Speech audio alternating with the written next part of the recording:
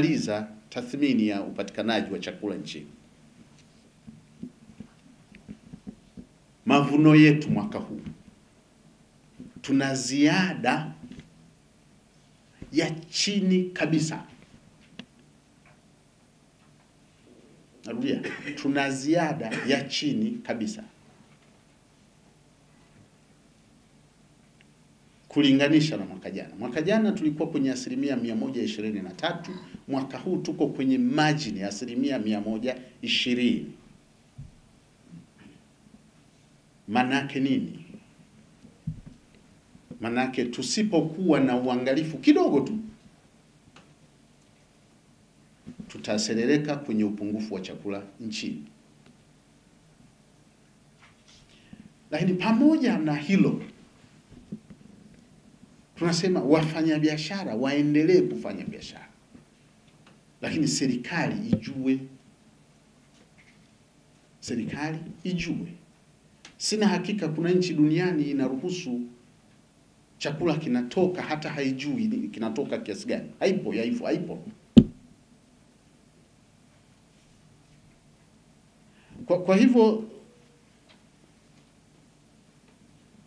kwa sababu pia tunataka tujenge sasa uchumi wa viwanda ambao unatokana na malighafi ya kilimo.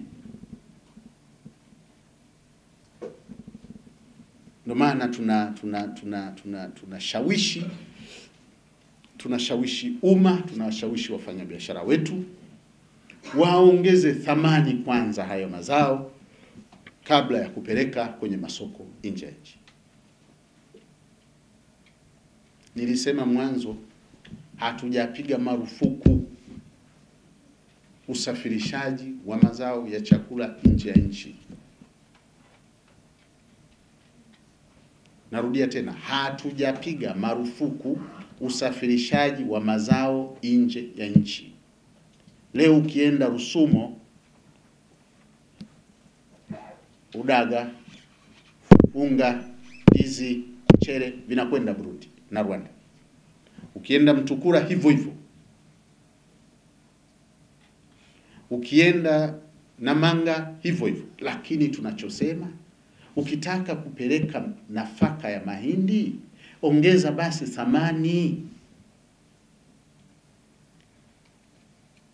Kwa, nini unataka kubeba mahindi mazima mazima upe, upe hapa hakuna mashine ya kukoboa? Ipo. Saga, peleka unga.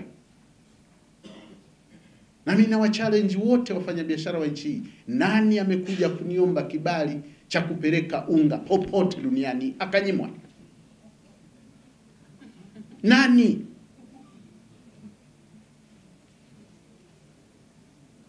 Lakini wanataka kuomba kibali cha kupeleka mpunga. Excuse me. Eh, excuse me, that I will, I'll never give. Wanataka mpunga, wanakula mapumba huko Sudani, wana eti they Sudanese? Mnakula pumba?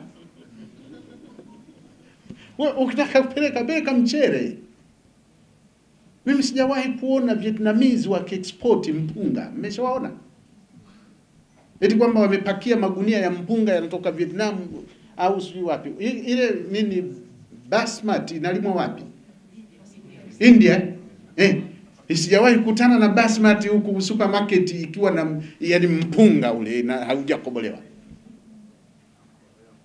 Lakini there are people pushing kwamba turuhusu watu wapeleke mpunga huko wanakopeleka. And I'm saying hicho akikiandika mtu kibali cha namna hiyo na mkata shingo. Peleka mchere an amount. Nitakwambia ni mfano mdogo. Mwaka jana mwezi Juni, mtu mmoja alitoa kibali cha kuexport mpunga Uganda tani laki tatu